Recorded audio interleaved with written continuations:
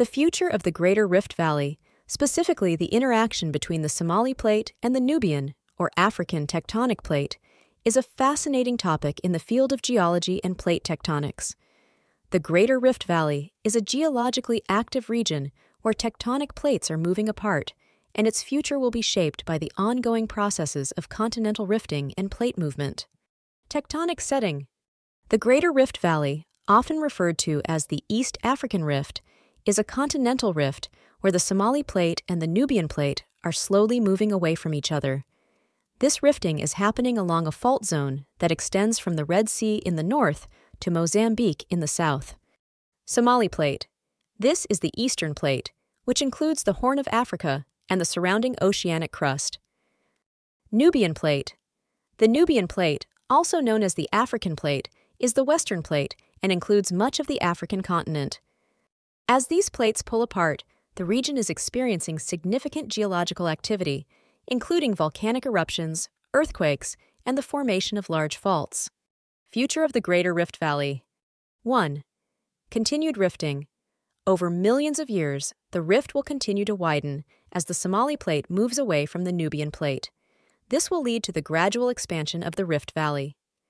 Eventually, this rifting process could lead to the formation of a new ocean basin as the rift continues to deepen and split the continent apart.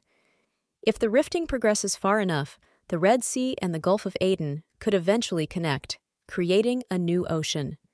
2. Formation of a new ocean. Some geologists believe that in tens of millions of years, the East African rift could evolve into a new ocean.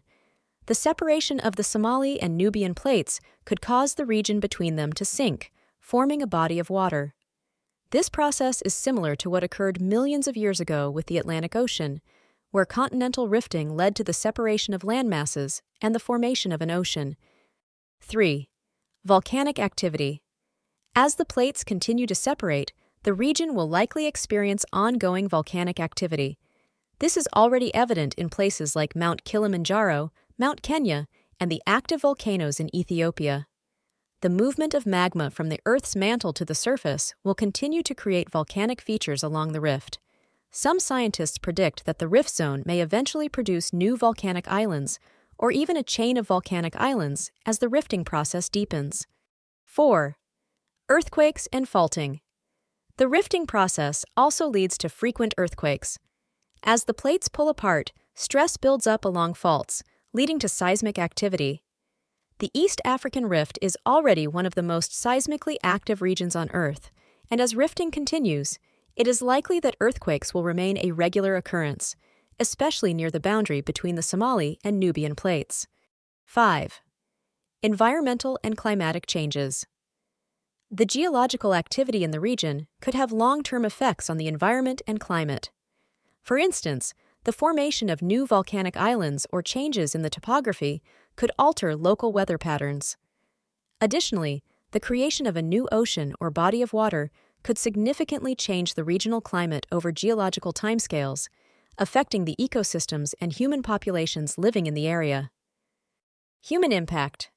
While the rifting process is very slow, it could have significant implications for the populations living in the region.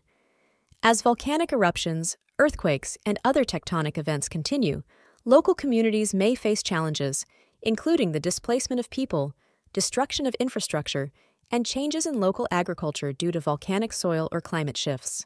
Summary The future of the Greater Rift Valley, shaped by the interaction of the Somali and Nubian plates, is one of gradual and dramatic geological transformation.